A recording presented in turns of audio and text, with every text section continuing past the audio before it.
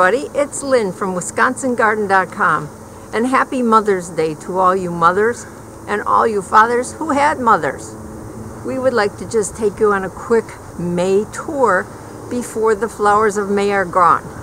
And we'd like to start with this Japanese fern leaf peony, which for us now is several years old.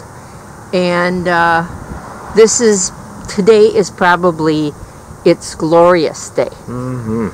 Uh, they don't last long, but the, anticip- the anticipation of them blooming is well worth it.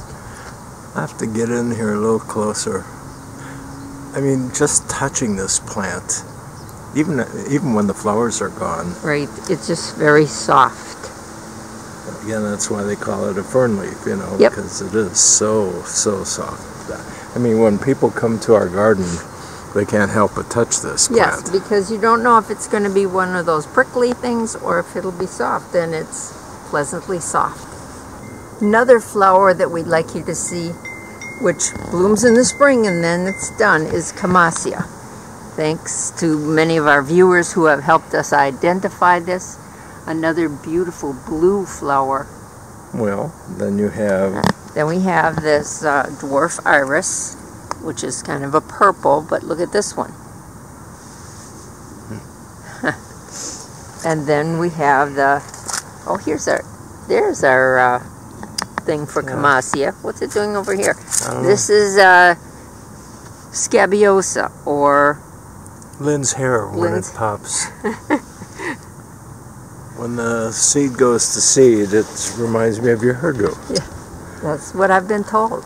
If you've watched us before, you know that I have a love affair with Liatris. But you had a love affair with me. Well, you as a person, but Oh. as flowers. Oh. Liatris is one of my very favorites. And this is what it looks like when it's a baby. Just so you know. If you plant it from seed, it's going to come up and look like a piece of grass. This is actually a year old. And then that is Liatris as a teenager coming along. Now that one will probably get to be, what, two and a half, three feet oh, tall? easily. Yeah. But we wanted you to see what it looked like when it was little. Then we've got tulips. These are doubles. And earlier this spring, I divided the fern leaf peony and planted what I had from the roots, and it it took beautifully. Well, those roots were really big and tough. I was Those amazed. Are, yes, and you know, people think peonies are delicate flowers. They are not. They are tough, and they can be transplanted and and moved around. Just Even know, in mid-flowering. e- yeah, Yeah. exactly. In fact, we should go over and show some of the division in a little while of what Yes. you did with them. This is a lily. I think it's just a, a um, yellow lily that comes up, and that will be a pink uh, yarrow. We got two of them. For whatever reason, that one is happy. This one is not as happy, but it's coming along.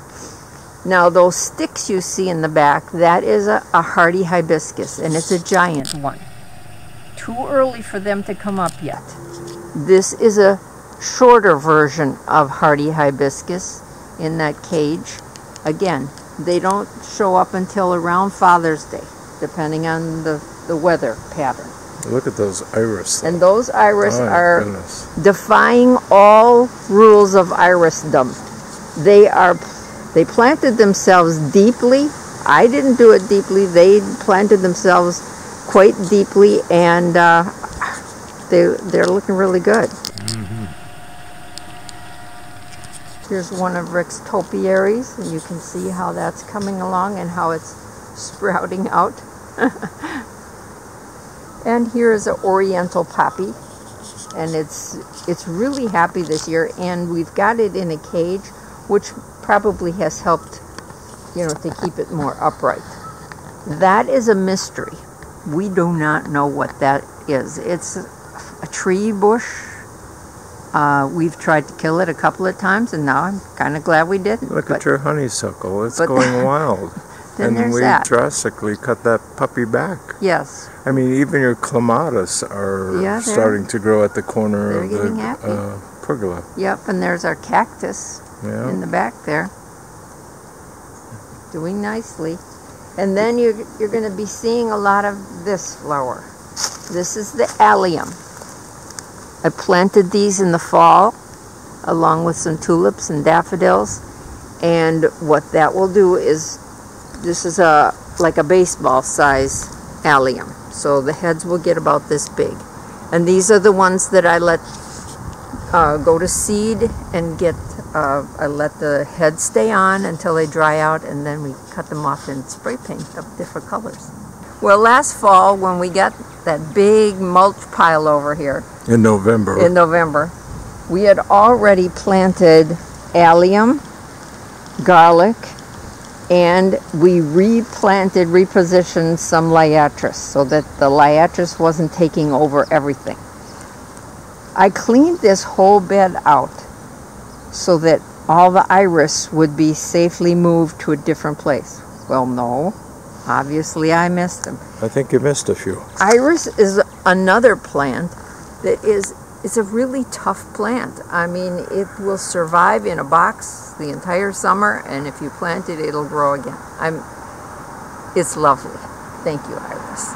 Now, if you've watched us for a while, the last couple of weeks, you know we've been working on a water feature that we replaced our old water feature, and it's the weather is not cooperating. But then it's spring.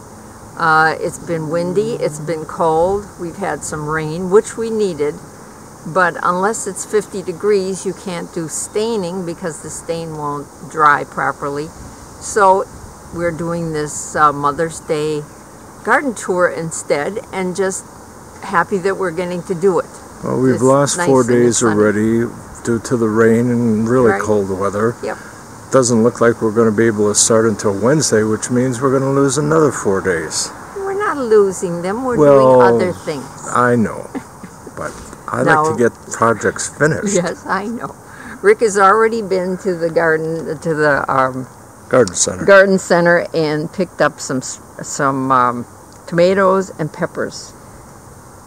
And while the other night it got to freezing, so I had to bring them into the house to keep them safe. I think we're done with the freezing part, hopefully. Otherwise, I'll traipse them back into the house. But You're an optimist. but uh, we also wanted to point out the fact that we are being uh, inundated with tree peonies that have planted themselves and with the help of squirrels have uh, moved themselves. Well, you thought you got all of them out of that back bed where I- we initially put in all those seeds. I thought I did. I see at least a dozen, if not more, growing. I mean, they're Yes. they're everywhere. Yes, They're they are. in every single bed. Yes, I noticed you started digging some of them up. In fact, I did. Here they are. These I dug up the other day, and by the end of the day, you, you couldn't even tell that they had been moved. These I did this morning, just a, about an hour ago. And while those look a little droopy, by tomorrow they'll be And fine. look what else you've been digging And up. these are again when I when I was digging around in the fern leaf uh, peony, I dug these up, and every one that was above the ground is doing very well. These are all just the roots, so I wanted to see if just the root would survive. And those were some big roots. Yes, they were. And then this is another propagation. This is the um, monk's hood that had to be moved a little bit, had to be moved out. So I haven't found a place for this yet, but keeping it nice and wet.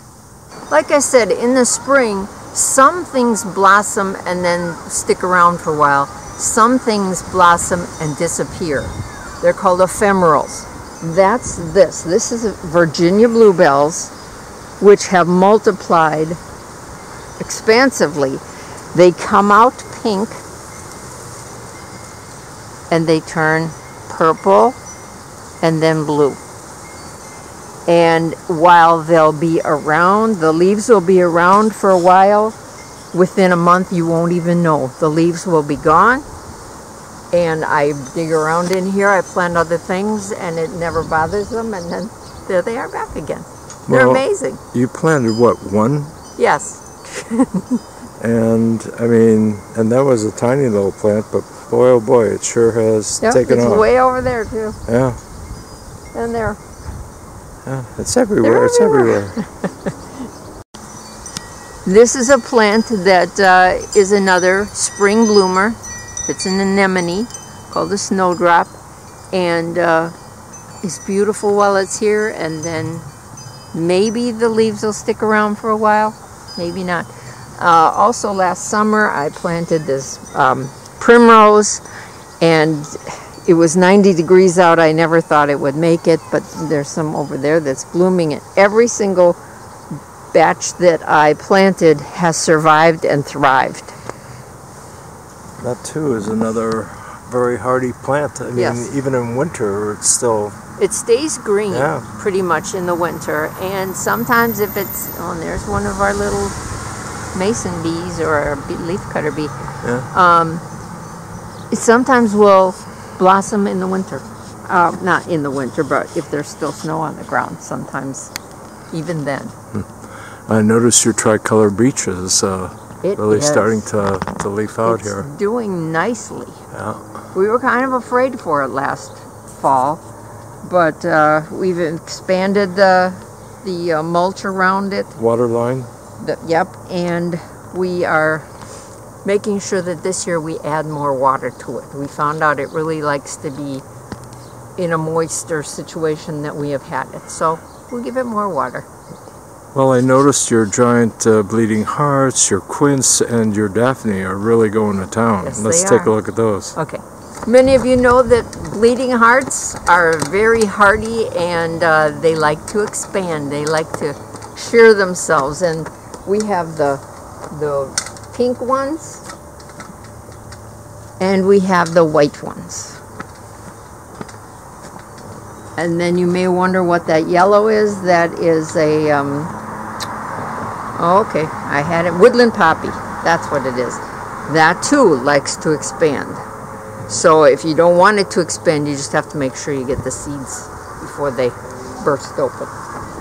But then down here, we have our quince, our flowering quince. That is These- a brilliant. Blossoms are amazing. Now we have another variety of quince on the outside of the berm, and that one too has beautiful flowers, but it also has spines. Oh my. And one year, when we had a really warm November, it even developed a quince fruit. Hmm. Who knew? And then Rick's favorite, Daphne. And it's his favorite because it smells so wonderful. Well, I must tell you though, in all honesty, this one doesn't have the same fragrance level as It's- the one we right. used to have outside our kitchen window. Right. That and it could It's, have been a I mean, I still variety. get whiffs of uh, yes. the fragrant. And And, look at your honeysuckle behind you. That's almost attacking you. And just take a quick look at the weeping uh, flowering cherry. Mm. I think this is the most blossoms it's ever had. Uh, we still have to do some vertical trimming that we never really got to. No, now this also is a flowering cherry. This had just a few branch, uh, just a few blossoms this year. Who knows why? Well, maybe it took the year off. Could be. I should take the year off. Too late. Some of our viewers have asked, well, why do you have sunken containers in the ground? You've got plenty of land to, to plant your plants in. Sometimes the reason is that certain plants are like to spread. They're very aggressive, like the woodland poppies perhaps, or herbs, where you know that, like oregano, if you don't put it in a confined uh, container, it will be everywhere. How about mint? And, well, yeah, definitely mint. And sometimes you want to just highlight certain plants by putting them in a container that will make them special for that time. We like to put different things in these containers, but uh, it just gives us another uh, palette. Well, it gives us an opportunity to showcase a specific type of plant. I Yep. mean, yes, we could plant them in the ground, but I think uh, having a sunken container is an accent. So I don't, I don't have a problem with it, and uh, I kind of like it. And we don't use, we don't put our food plants into the, the containers. We, food plants we put in our garden and we use organic um, growing fertilizers, Compost. compost and worm compost and that sort of thing. But these plants that are in the containers need more fertilizer perhaps. And when we use the planting soil that has that in there, that's fine. We're not going to be eating those plants. Unless we're really hungry. Hungry. I had to laugh earlier this spring because Rick said, I don't think the ferns are coming back. I can't see any of them. And I said, Oh, they'll be back. And there you go. They're back. All these little fiddleheads. Some people use them as a delicacy and they actually eat them. Sauteed in butter. Here's some right here, Rick. These would be delicious. They are so pretty. I, as an artist, I can really, really appreciate that movement. And what's that called? Not Fibonacci, is it? Well, Fibonacci has a repetitive um, program, so to speak, where, like a sunflower. Yes. But Yeah. these these are just the right size for eating. Oh, yeah. Those are babies. Yep. They are pretty. We wanted to show you the iris garden that we have worked so hard to keep weed free. I have been out here and had every single leaf, every single leaf of weed, root of weed out of here. A lot of good that, that it did. They're all back again. But anyway, our tree peonies are doing wonderfully. Those They- were the ones we transplanted. Yes, last, those uh, were the ones we did from seeds summer. and transplanted last summer, and their buds are forming already. The hostas are in there, happy. Our five in one apple trees are blossoming. Not every every kind will blossom this year, um, and our peach trees are blossoming. Hopefully, we won't have any more frost because we've already covered them twice because of frost and hopefully we're done now. And hopefully the bees will be able to do their job and perhaps we'll get some apples.